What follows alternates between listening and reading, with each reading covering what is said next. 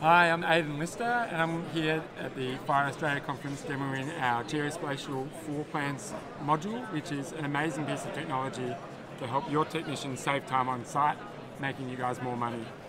So I'm going to run through how simple it is uh, to set up a floor plan and start using it, but also uh, I'm going to go through the benefits quickly. So ultimately time is money, you want to save your technicians as much time as possible on site. Uh, and Uptick helps you do this three ways. So for INT, inspection and testing, all of your assets can be loaded up onto the geospatial floor plan so your technician isn't looking for each individual asset. What we've found from the hundreds of thousands of people that use Uptick every year, they spend half their time finding 90% of the assets and then the other half of their time finding 10% of their assets. Uh, so Uptick's floor plan, by being able to see every asset on the floor plan, allows them to find those last 10% of assets. This can cut down servicing time by as much as 40%. Second up, you've got repairs.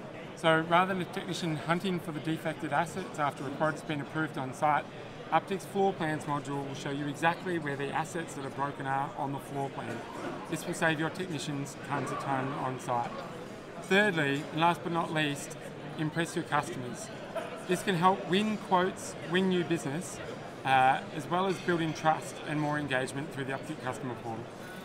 So I'm going to jump into a, uh, I'm going to jump into a building over here. Um, this is a typical floor plan, and we can see all of the emergency and exit and smoke detector lights on on this site. I can click on any of the defected assets and see the last service dates and the current test status and any of the defects. This gives my technicians and my customers enormous power out in the field. I'm going to show you how easy it is now to set up a floor plan on a new site. So I've loaded up my task in Uptick and I've done my pre-start checklist and I can see all of the assets that need to be serviced. I'm going to hit floor plans and I'm going to create a floor plan. I can either take a photo of my nearest evacuation sign or I can use the built-in Google Maps feature. I can tap my building, follow the prompts, ground floor, and I'm ready to start arranging assets on the floor plan. Here's one I prepared earlier. You can see I've got all of my assets located on the map. As I walk into the entrance, I can see this fire extinguisher that I'm meant to test. I can fail it, take a photo,